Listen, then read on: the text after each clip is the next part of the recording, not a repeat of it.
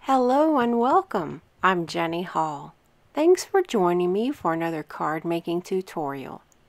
Today I'm sharing a Halloween card. It's very simple but a little bit something different.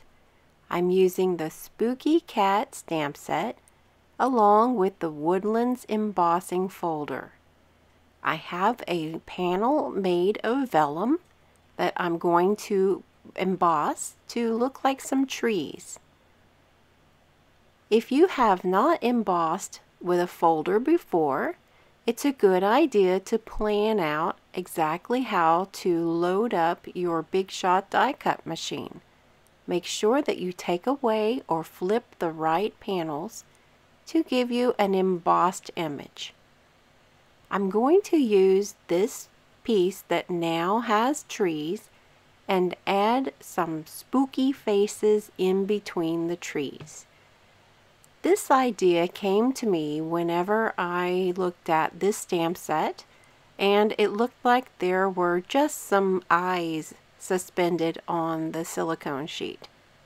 So I thought, wow, that looks like those eyes are peeking out from a dark wood.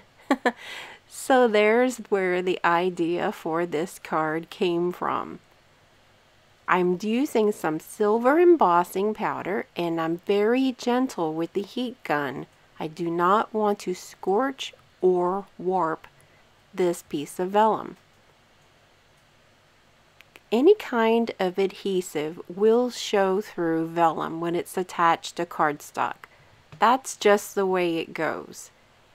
I like to use mini glue dots positioned strategically to try to hide as much adhesive as I can.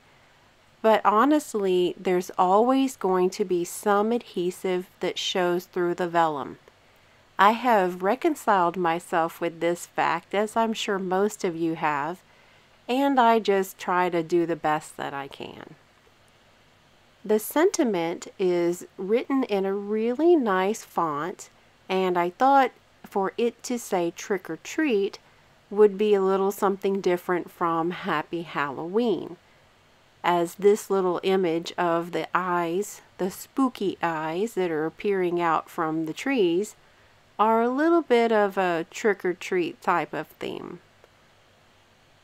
This sentiment is going to stretch across the entire area of the front of the card. I'm adhering it down with some foam dimensionals. Basic black baker's twine comes in a black and white stripe and this is going to be perfect for the gray and white color scheme. So I've wrapped it around the card a few times and then I will just be tying a simple bow and trim it down with my snips so that it doesn't hang off of the area of the card. Then the card front will be attached with Stampin' Dimensionals. The inside of the card is kept very easy with a, another sentiment of the spooky eyes, but I, I left the whole thing this time instead of just using the eyes. All of the products that I have used for this card today are available in my online store. I do appreciate all of your support with your purchase, and I thank you for choosing me as your Stampin' Up! demonstrator. Thanks again for joining me today. I'll see you in the next video. Thanks for watching the video. Have a good day!